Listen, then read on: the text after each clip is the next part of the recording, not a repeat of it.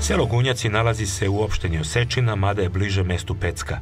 Geografski je na severoistočnim padinama Sokolskih planina i južno od Vlašića na nadmorskoj visini od 400 do 600 metara. Nenad Vilotić, kao i njegovi preci i njegove komšije, proizvodi malinu i kupinu, ima ovce, par krava, a bavi se i pčelarstvom. Sve poslove obavljaju oni supruga. Tri čerke koje su podigli udale su se i imaju svoje porodice. Za sada uspevaju sve da postignu sami. Pa imamo oko 20 sari kupine i jedno 30 smaline. Solidna je, znači nije da je ekstra dobra, ali je e, negdje oko oko normale, što kaže. Uglavnom, dobro je, dobro je, dobro je kvaliteta i vidi se da je zdrava. Ono što ima, bit će valjda dovoljno za nas koliko možemo da uspremimo. Cena je prošle godine bila dobra, nema, prošle smo godine zadovoljni, sad za ovu godinu još ne znam ni, ništa kako će se formirati cena i to. Mi radimo koliko nama, koliko, znači ne plaćam radnike, znači nabrajamo do 20 kupine, 15 maline. Ove godine možda će imati malo više maline, pošto imam još jednu parcelu, stigla mi je ovaj, na rod, tako da do 20 metara tu je i ono, maline i tako. Živi se od svega pomalo, kada je dobra cena maline i kupine, to je onda neka zaleđina, mada se stalno pomalo prihoduje od meda i od ovaca. Dobar sir i kajmak koji proizvode redko stigne do pijace i tržišta. Na jednom kulturu ne možeš ti da opstaneš nigde. Znači moraš da, da se više baviš svačemu i da, da koristiš sve što može resurse, što kaže u našoj moći.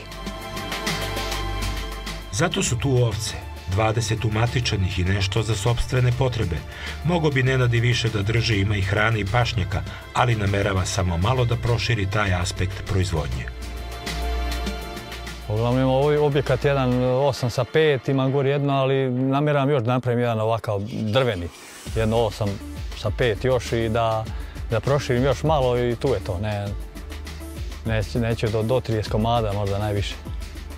Držim sjeničku, ramenku, da, To već godinama, pre Švojim Plavšić, direktor Zadruge je dobaljio, ja sam uzimao dva puta pa sam sad obnovio ponovo stado isto sa, ovaj, ja sam zadovoljan na sjeničku pramenku i, kvalitetno meso i vuna i, i dobro jagnjenje imaju i tako da odviše se blizno, ove godine osam je se blizno, znači i, i zgodno se podgaja jagance, nemaš problema nikakvi ovaj, što se tiče jagnjenja i zato sam zadovoljan njih.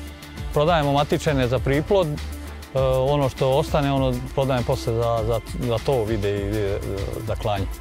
A odviše prodajem za matičene.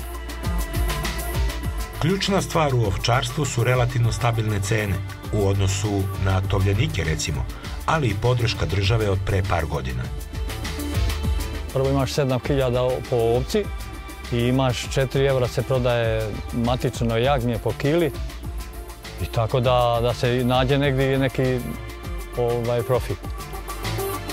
Kada je proizvodnja zbog mesa u pitanju u ovim krajevima pramenka nema premca, traži se, čak se povremeno organizuje otkup većih količina. To je meso jako dobro, kvalitetno i ja, ja sam zadovoljan već koji god, koji god je uzeo od mene, on je, on je se oduševio sa, sa kvalitetom mesa, pošto je sjenička ovca jako kvalitetna za, za, za pečenje. Ovdje na području opštine Osečina, već i opština Osečina svake godine ovaj, da po desetak domaćinstava 50% povraćaja za matične jagance.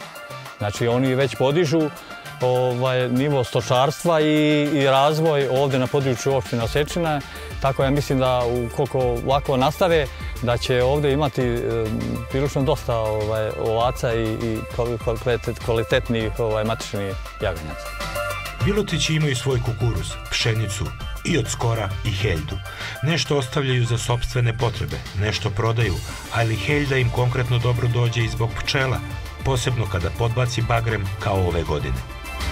Proleće je celo, celo bilo loše, ladno, zima topla. E, kad je krenuo bagrem, onda je opet okrenula kiša, hladnoća, tako da ove godine neće imati bagrenog meda male količine, ako bude bilo, to je sve svi malo. Ja se uzdam u heljdu, zato sam i poseo da stigne posle bagrema, da bi, da bi, ovaj, da bi iskoristio bar, bar koliko bilo, da, da imam tog heljinog meda i malo lipe, tako da, jer to je kvaliteta med.